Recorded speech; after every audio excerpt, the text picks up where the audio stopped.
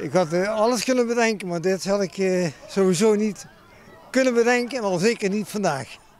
Burgemeester Delissen heeft zondag de koninklijke onderscheiding lid in de orde van Oranje Nassau uitgereikt aan Matt Kersten uit Helden. Kersten heeft zich 28 jaar als vrijwilliger sociaal en maatschappelijk ingezet. Zo was hij voorzitter van de buurtvereniging De Drees in Helden, voorzitter en later lid van de podiumcommissie bij het Heldens gemengd koor Belcanto en voorzitter van het Aspergegelden Pelemaas. Daarnaast is hij gemeenteraadslid geweest van de gemeente Helden en Pelemaas. Tijdens een buurtlunch werd hij verrast. Matt heeft laten zien er niet vies van te zijn om de handen uit de mouwen te steken om zaken die wat stroever liepen weer vlot te trekken. Al dus het aspergegilde Pelemaas. En je hebt daar ook een heleboel dingen gedaan. En ik noem ze in het kort. Je was financieel verantwoordelijk. Organiseren van diverse evenementen en bijeenkomsten. Relatiebeheer, PR, communicatie.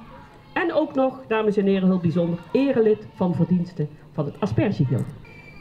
En het is een eer te mogen mededelen dat het Zijne Majesteit Koning Willem-Alexander heeft behaagd om u te benoemen tot lid in de orde van Oranje Nassau.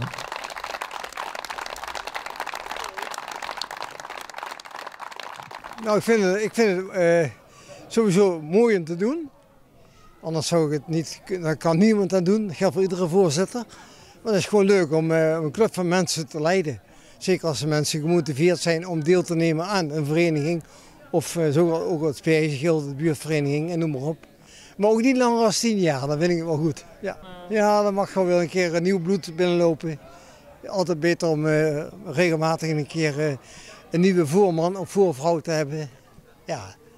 De buurtvereniging hebben uh, gedacht om dit ook een mooi geschenk te geven. Zo, leuk.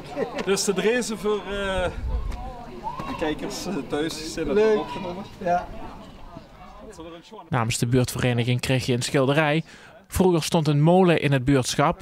Kersten kan er nu van genieten, want hij gaat het rustiger aandoen. Geen voorzitterschap meer, uh, het is wel uh, is goed geweest. Ja. Dankjewel hè. Come on.